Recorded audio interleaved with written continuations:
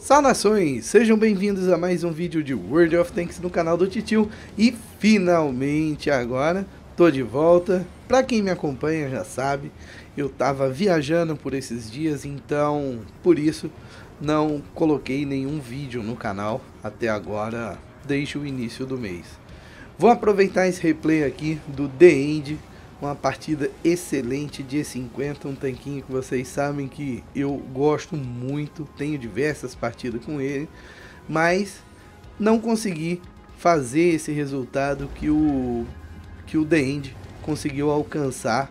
Então, vale a pena estar tá mostrando aqui para vocês. Vou aproveitar o replay também para estar tá fazendo um convite.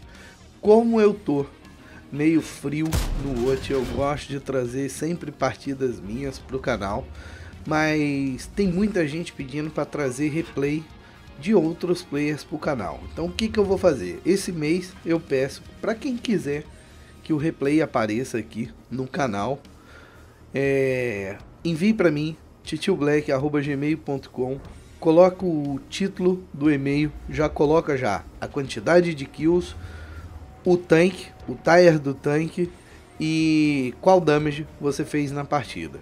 Coloca depois no corpo do e-mail já o link da partida upada, pode ser no Watch Record ou no Watch Replays. Eu particularmente utilizo bastante o Watch Records, diferentemente de muitos que utilizam só o Watch Replays, mas isso não tem diferença, tá? Então eu pretendo trazer ainda, fazer quatro replays esse mês, além desse aqui que eu já estou fazendo do The End, tá? Então, se você quer o teu gamezinho aqui aparecendo no canal, manda para Titio. E no mais é isso aí, eu quero ver também como é que vai ser a aceitação do público no canal. É, vão ser replays que vão ser comentados, não vão ser só colocados a partida. Então, vamos ver. A galera às vezes curte ou pode não curtir, dependendo de como for, a gente pode estar tá fazendo aí pelo menos dois replays de players por mês aí no canal, ou quem sabe até mais. Vamos ver, dependendo do tempo disponível do Didil.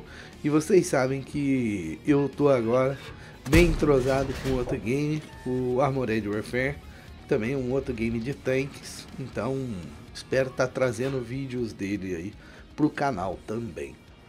E no mais, é isso aí, vamos falar um pouquinho dessa partida. É, essa partida resume bem o que acontece no servidor SA. É, time lemingano em ambos os lados e esse mapa é justamente isso aqui que tem acontecido. Base norte praia e base sul vai ali pelo norte do mapa. Geralmente o time todo lemingano e fica aí o que? O pessoal fica camperando na rio, aqui na base sul e fica camperando ali no corner da base norte, fazendo a defesa.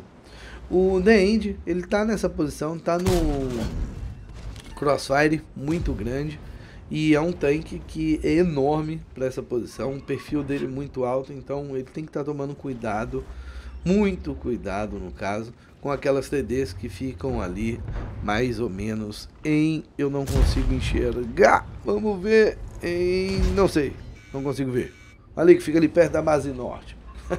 Essa partida está gravada, eu não estou conseguindo verificar muito bem o, o nome das coisas que vem aparecendo aí. Mas o The End, ele está fazendo aí seu serviço, ele deu uma, uma, uma vaciladinha ali no E75, ele podia ter dado uma track e ter conseguido mais um segundo tiro e ele não fez nenhum dos dois e para completar ainda deu um expôs demais a lateral do tanque na hora de fazer o side scrape. Artilharia salvando o garoto aí, tá? Vocês dizem artilharia não ajuda? Olha, artilharia ajuda. O problema é quando ela ajuda de um lado, do outro ela cutuca. E vamos pra frente, vamos esquecer de artilharia. E ele tá aqui, bicho, tá tranquilão, base norte lá. Eu, o, o, a galera que foi lá pelo norte, tem muita gente lá do time. E o time deles, conforme eu falei, é isso que acontece. Fica preso ali na praia porque tem TD segurando o avanço. Então quando você vai fazer esse avanço da praia para a base sul, você tem que tomar muito cuidado por onde é que você vai. O pessoal que fica preso ali no meio vai ficar preso, tá? Porque tem 50 TD mirando ali. Além do mais, se o time da base sul conquistar ali aquela rio, eles vão ficar num crossfire muito grande. E é o que eu falo. Essa partida, ela resume muito bem o, a questão de posicionamento de time que vem ocorrendo. E, além do mais, ela resume o que? Que um player no local certo pode fazer um estrago muito grande. Você vai ver aí também que boa parte do time do The Indy já voltou ali da base do, do norte do mapa, ou seja, não conseguiram concluir o avanço. Tem ali em cima tem uma T30, tem um STG, tem uma Alf, tem muita gente segurando ali. Então o pessoal não quis arriscar e voltou aqui justamente para quê? Para defesa. E fica desse. Esse é o, é o complicado, mas como eu falei, End, ele tá bem posicionado aqui, tá? Ele tá com cobertura do time, o pessoal se friolar nele morre, quem olhar aí perto dessa pedra, nele morre fácil. E ele vai farmando o damagezinho dele, atira daqui, atira dali, só pegando o erro dos outros, tá? Então, isso é bom demais.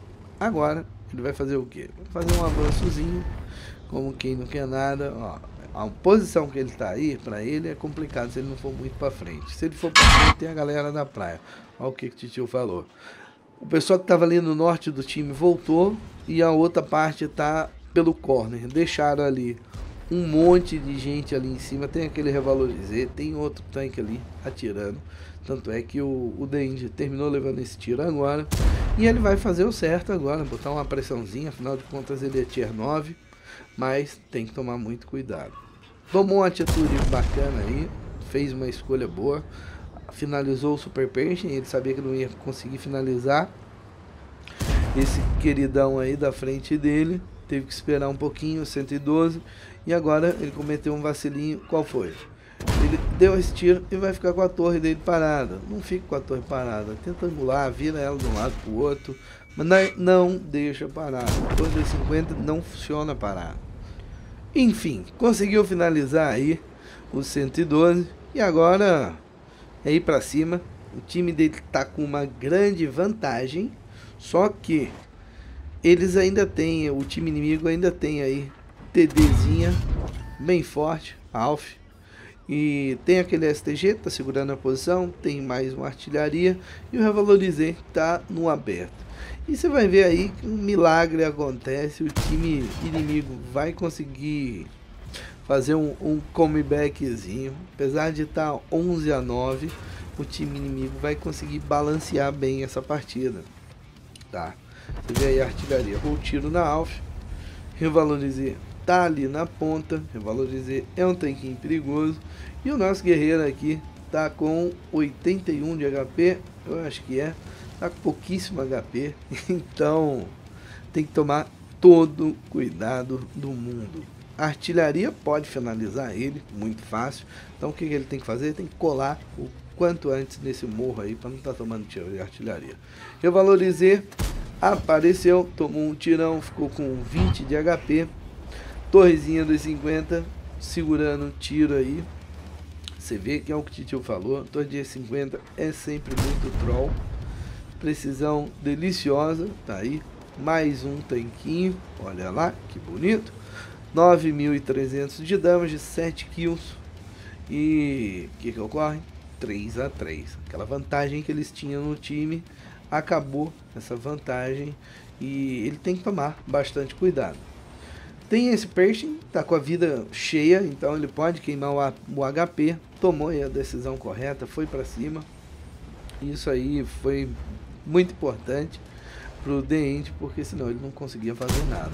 Olha só, esse snapshot com mira aberta acertou essa Alf. Apesar de ter deixado ela viva, foi um belo de um tiro, tá? Que você depende da sorte, também depende do tanque. Tentou dar um blind shot ali, agora já tem que correr, porque para tomar um tiro aí fica fácil, botando a cara na tapa. Guarde morreu, Ficou aí o que agora? Só ficou a querida artilharia. Esse rapaz, The End, mais uma vez levou sorte. Um splashzinho a mais, ele estaria morto. E pronto, vai pra cima. Oitava kill, 10 mil de damage num tanque do tier 9 e 50. Apesar de ser um excelente tanque, para você conseguir fazer 10k de damage, você tem que estar tá muito inspirado, tem que dar sorte na partida. E foi isso que ocorreu. Agora sobrou a Alf, ele vai para cima da Alf, afinal de contas já está aí com seu score, sua partida, tudo bem. Vai para cima, vai entrar no aberto, mas essa com certeza foi uma das piores decisões, mas ele já sabia disso, acho que já estava satisfeito com o resultado. Meus queridos, não deixem de mandar os vídeos para o titio para estar tá colocando no canal. Eu espero que vocês tenham curtido. Se curtiram o vídeo, não esqueça de deixar seu like no final. Um abraço para vocês e vamos ver agora. Até mais, pessoal.